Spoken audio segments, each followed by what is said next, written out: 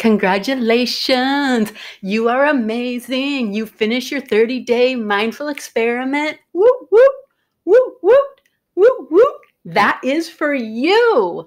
Please take a pause today and celebrate you.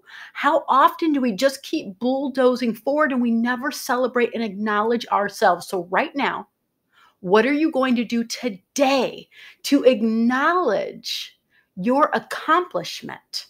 You committed to yourself, your intention, being mindful for 30 days. That's amazing. Write in the comments what you are doing to celebrate you. Good job. You rock. Now go celebrate yourself.